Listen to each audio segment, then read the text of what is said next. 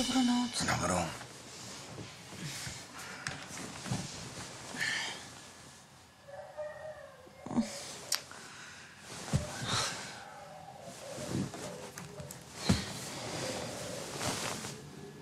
Ty čo robíš?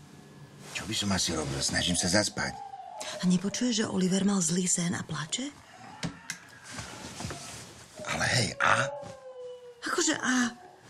Prečo k ním stále musím stávať ja? Lebo chcú len teba. Ale prosím ťa, s týmto na mňa nechoď.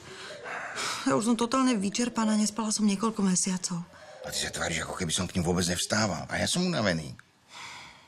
Musíme niečo robiť, inak sa zbláznime. Tak ho nechajme plakať. Nakoniec zaspí. Ale nezaspí, akurát sa úplne preberie. Tak na budúce sa vystriedame. Dobre, lenže niekedy môže zaspať e, za dve minúty a niekedy to trvá hodinu. Nikdy nevieš, na koho to vyjde. Dobre, keď to bude trvať dlhšie, tak pôjdeme na striedačku. No, to nie je zlé. No dobré, ale čo keď sa počas tvojej noci zobudí Tomáš alebo Samko? Alebo sa Tomáš pociká? Tak ním vstaneš ty? No, nevyspí sa ani jeden z nás. Prečo? Lebo.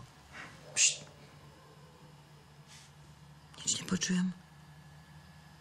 Zaspal.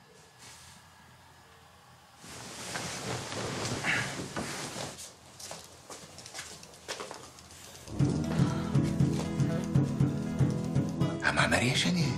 To mi bude stávať k Oliverovi.